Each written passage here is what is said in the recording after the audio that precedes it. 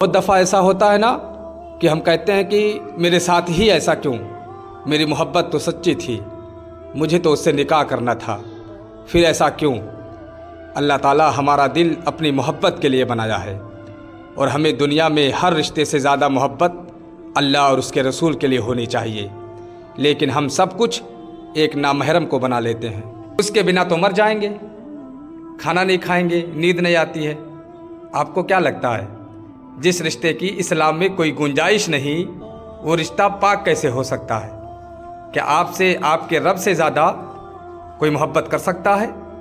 जो हर पल हमारे साथ होता है, हम वो हर काम करते हैं जिससे हमारे रब ने हमें रोका, लेकिन फिर भी वो हमसे नफ़रत नहीं करता, हमें माफ़ कर देता है। बहुत सी ऐसी लड़कियाँ होती हैं, जो नामहरम से बातें ये सोचकर भी करती रहती हैं कि ये तो हमारा भाई, नामहरम नामहरम है।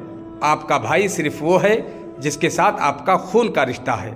सुनो, औरत को चाँद की तरह नहीं होना चाहिए कि हर कोई उसे देखकर लुत्फ अंदोज होता रहे और बार बार टकी टकी बात कर देखने की तमन्ना करे, बल्कि औरत को सूरज की तरह होना चाहिए। उसकी तरफ़ देखते ही आँखें बंद होने लगे और उसकी तपिश लोगों को फासला रखने पर मजबूर कर दे।